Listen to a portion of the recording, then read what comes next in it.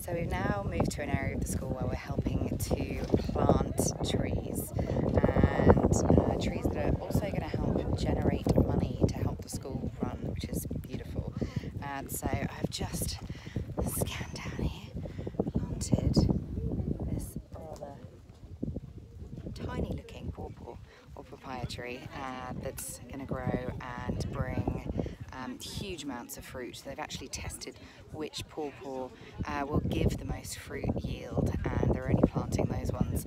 Um, super clever um, and it can be used both for seller's fruit but also for juice as well and they have a juicing plant to do that. Pretty amazing. Um, we've got a lot more activity going on here.